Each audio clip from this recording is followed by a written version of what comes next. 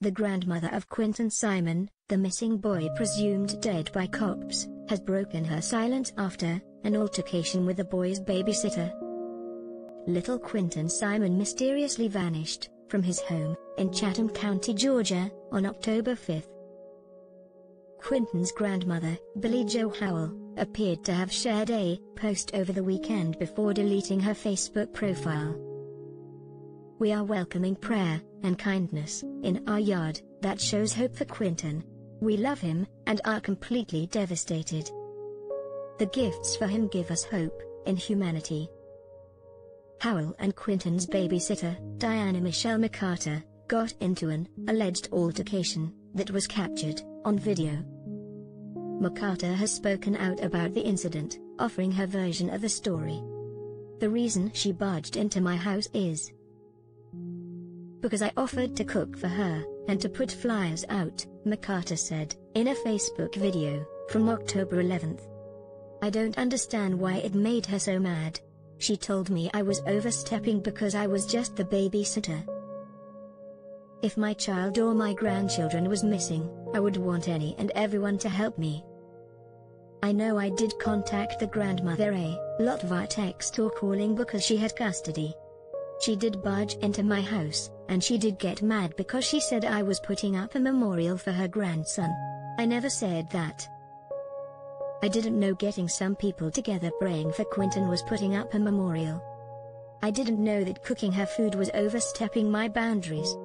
I thought that's what you should do when a family is going through something. These babies didn't come to me every day with bruises. Quinton did have bruises. But he also fell a lot because he ran. I wasn't there. I don't know if his mother beat him or gave him them bruises. All I know is that when he was here, he was taken care of. The right people knew what was going on. It was up to them to fix this. Hit me, hit me. Howell reportedly burst into McCarter's house and accused her of taking the missing toddler. The grandmother is also heard screaming my baby's not dead after McCarter spoke about creating a memorial. The shocking footage was recorded by McCarter's daughter, and passed to local news channels ZAV. Howell, who reportedly has custody of Quinton, 20 months, and his babysitter McCarter accuse each other of lying. At one point McCarter dares the grandmother, hit me, hit me, and Howell replies, do you think I would do that? She then shouts at McCarter, do you have Quinton? You're the only one who can go in my house and take him. The footage emerged after McCarter revealed she received an odd text hours before little Quinton vanished in Savannah, Georgia, on October 5. She said Quinton's mother Leilani Simon messaged telling her she was not needed to look after the toddler and his brother. McCarter told Zav, I got a text saying they would not be here, I would not be babysitting them, at 5.29 am.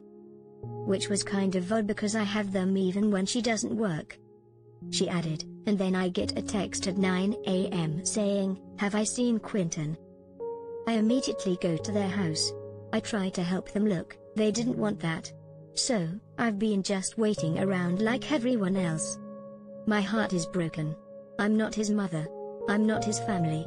But I love him very much, and I just don't know what could happen. Prime suspect. Quinton has been missing since October 5th, however. This week the Chatham County Police Department revealed that they now believe he is dead.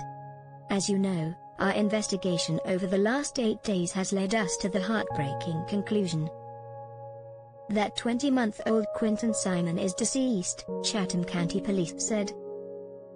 We have named his mother, Leilani Simon, as the primary suspect in Quinton's disappearance and death.